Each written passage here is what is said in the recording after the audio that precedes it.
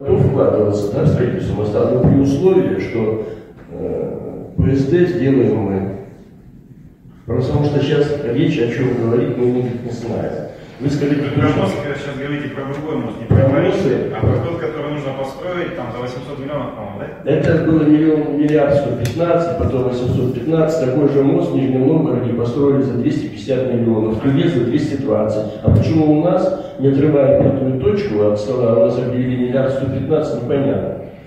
Вот, э, значит, ну такой, дайте ПСД и будем решать вопрос. Я уже написал на имя председателя пояснительную записку, надо посмотреть.